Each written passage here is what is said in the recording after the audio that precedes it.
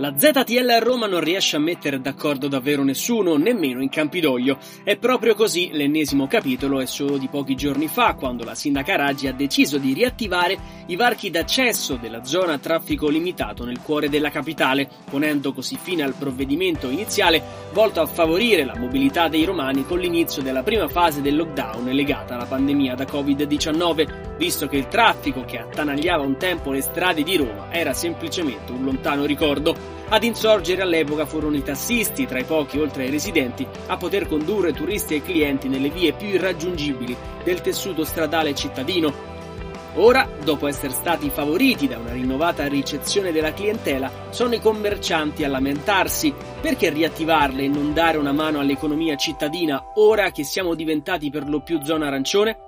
È giusto anche fare una specifica, nel cuore della ZTL i parcheggi sono pochi o in molte zone assenti aumentare questo traffico di vetture porta ad un congestionamento di alcuni quadranti del centro in grado solo di produrre disagi, divieti di sosta e multe salatissime per la gioia delle casse del comune di Roma. Ma trovare un punto di incontro sul tema ZTL appare davvero una missione impossibile.